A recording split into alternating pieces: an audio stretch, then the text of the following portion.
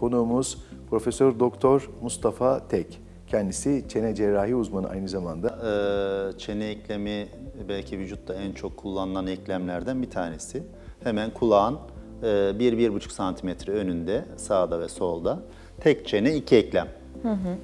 Aslında bozulması zor bir eklemdir. Ee, tedavisi de zor bir eklemdir. İnsanlara eklem deyince direkt insanların aklına gelen dizleri oluyor. Evet. Aman dizim ağrıyor, işte ne diyeyim vesaire gibi böyle şikayetlerle, yakınmalarla geliyor.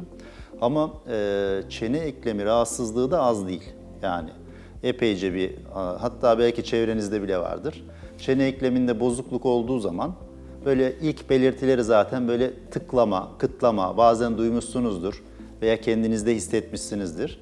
E, ağzım açılıp kapanırken böyle kıt kıt, böyle tık tık sesler geliyor evet, gibi. çok- yani bu aslında Esnerken de e, Esnerken de olabiliyor. olabilir. Evet, esnerken de olabilir. İnsanlar ağrı olmadığı sürece e, bunun bir bozukluk olduğunu bilmiyorlar. Evet.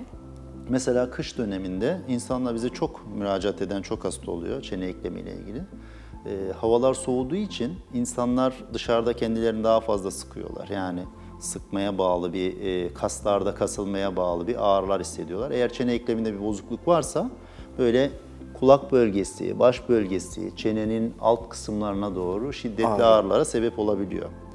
Ee, özellikle bu kapsül içi bozukluk dediğimiz yani çene ekleminin e, olduğu o menteşe hareketinin yaptığı bölgede eğer bir bozukluk varsa e, bu kaslar vasıtasıyla vücudun ta ensesine sırtına kadar ağrılara sebep olabiliyor.